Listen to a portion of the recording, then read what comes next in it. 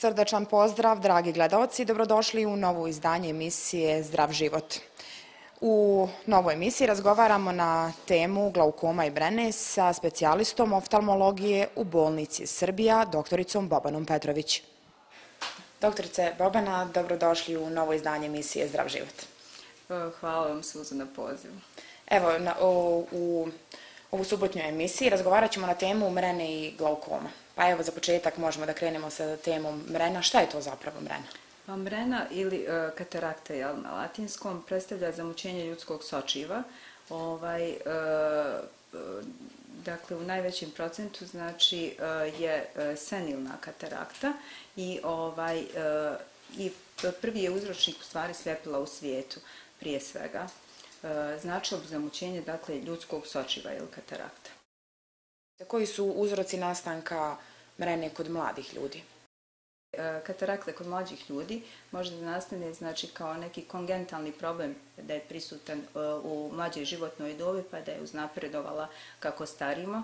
E, može nastati kao posljedica nekog drugog oboljenja u organizmu kao diabetes u mađoj životnoj dobi pa da nastavi metabolički poremećaj u sočivu e, kod reumatskih problema, recimo kod konzumiranja određenih lijekova kao posljedica, znači ovaj, e, može nastati zamućenje sočiva, recimo pogotovo kortikosteroida kod tih ovaj, e, reumatskih oboljenja. I prosto mislim, znate kako neko ima predispoziciju i porodičnu uslijed nasljednje komponente, pa je u mlađoj životnoj dobi prosto ima svoju predispoziciju i da dobije kataraktu.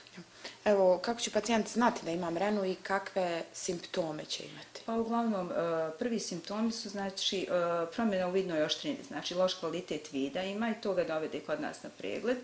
Dodatno još e, pacijent to opisuje kao da, da, da je nastalo zamagljenje vida, znači u jednom određenom procentu.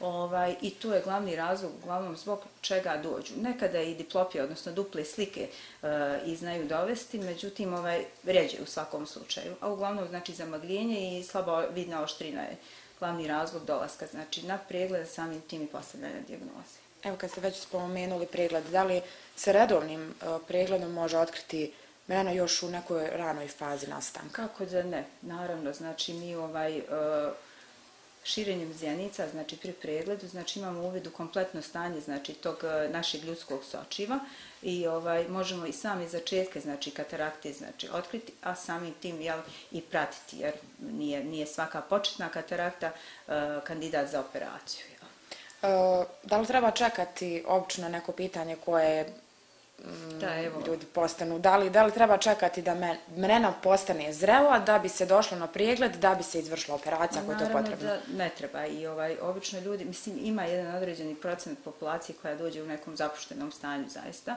Mislim da je mrena tako ja, e, puno uznapredovala, međutim ovaj ne treba čekati, e, pogotovo mlađa populacija koja je radno aktivna, znači njima to smeta i oni dođu sa nekim određenim razlogom, prije svega lošom vidnom oštrinom ili tim nekim zamagljenjima, gdje postavljamo indikaciju i oni su kandidati da se što prije jel, realizuje ta operacija da bi dalje nastavili jel, svoje radne aktivnosti. Dok kod starije populacije ima prostora na neki određeni period čekanja, e, pa ovaj e, neko vrijeme znamo pacijentu i ponuditi. Može da se operiše, a može i neko vrijeme da pričeka.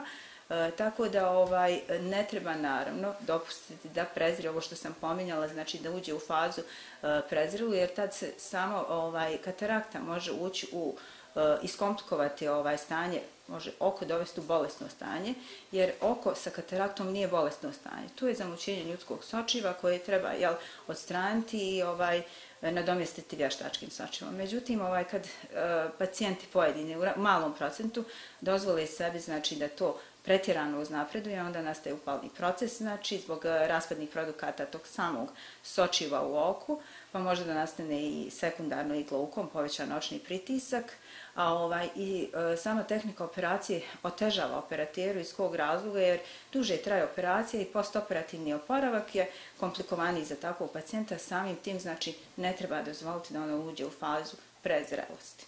Evo, o, kada oftalmolog ustanovi da pacijent ima mrenu, e, postoji li neka predoperativna priprema? Sigurno da postoji i šta je to pitanje? Naravno, kako da ne. Radi se ovi bazični jel, ovaj, e, stva, e, kontrol, pregledi u smislu laboratorije, e, znači internista svakako nam je potrebno da pogleda pacijenta, slika pluća, internista daje svoju saglasnost za operaciju i naravno preoperativno pacijent e, u okviru oftalmološkog pregleda treba da odradi i ovu ehobiometriju, odnosno biometriju, akcidat je na njoj, da se izmjeri to e, sočivo koje se ugrađuje kod pacijenta, znači kada se mrena izvadi, znači on, svako oko je individualno sa svojom određenom dioptrijskom vrijednosti ovaj, koja se ugrađuje u smislu tog vještačkog sočija.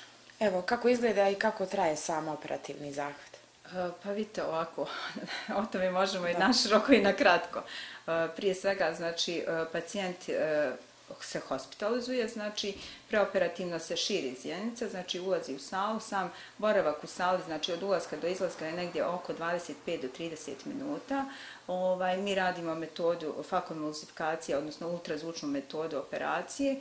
Ovaj, e, sama operacija podrazumijeva, znači ultrazvučnom sondom se uđe u oko, e, aspirira to e, ljudsko sočivo, e, nadomjesti se znači vještačkim mekim intraokularnim sočivom, znači ubaci se vještačko sočivo, e, rana se ne zašiva, znači samo se na određeni način hidrira, znači i pacijent e, faktički može, mislim i postoperativno e, prvog dana da ide kući, znači po pregledu, znači i viziti.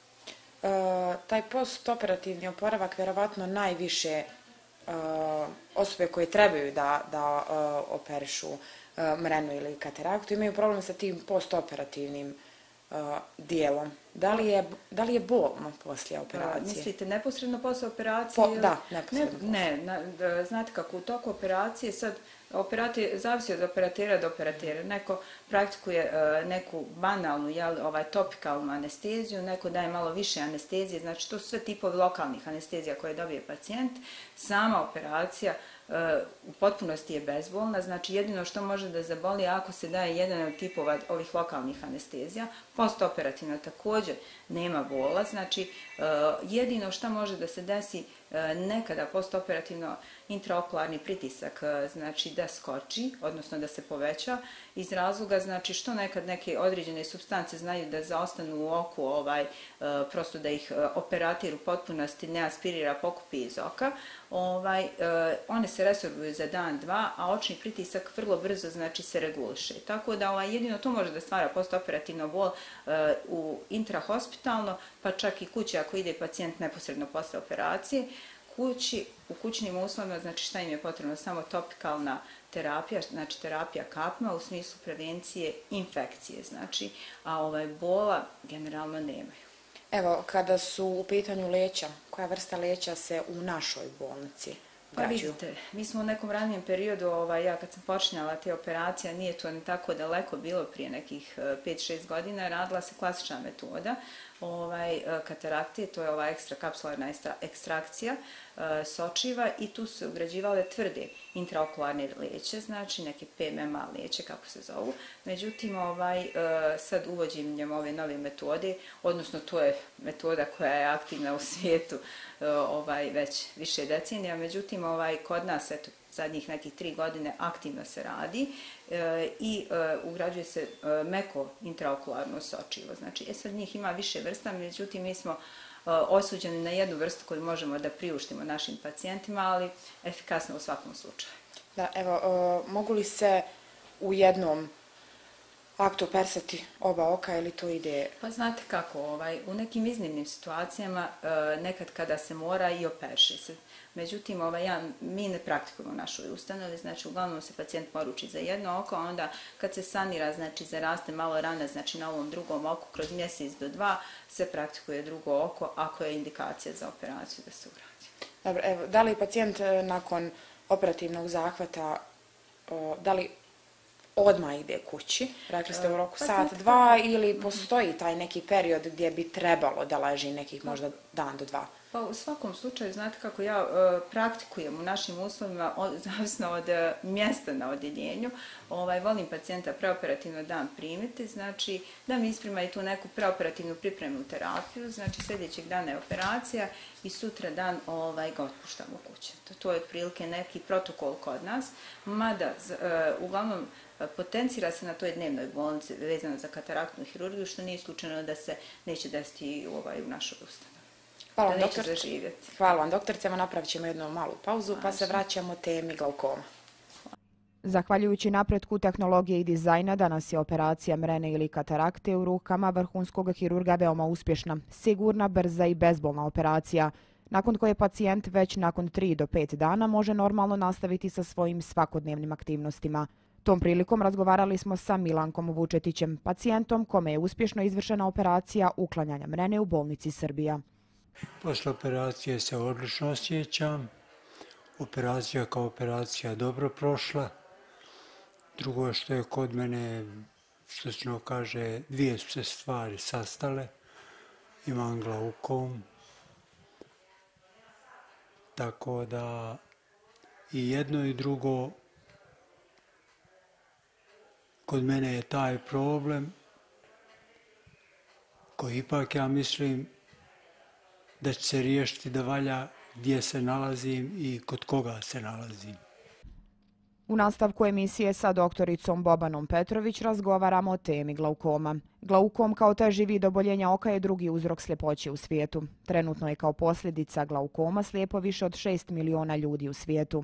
Glaukom je progresivna bolest očnog živca, koja ako se ne liječi može dovesti do osužavanja vidnog polja, propadanja očnog živca pa i trajnog gubitka vida. Ova bolest dolazi bez simptoma i zato ga zovu tihim kradljivcem ili tihim ubicom. Šta je to zapravo glaukom?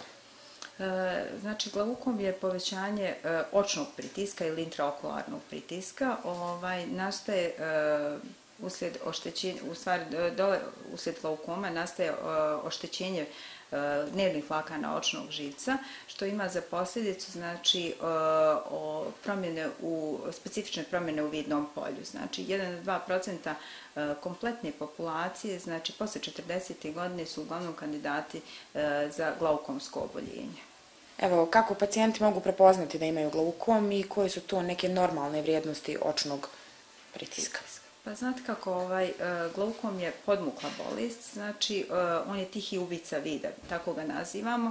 Iz kog razloga? Zato što pacijent jako dugo Eh, ima bolest prisutna, a pritome nije svjestan da ima, znači nema nikakvu simptomatologiju.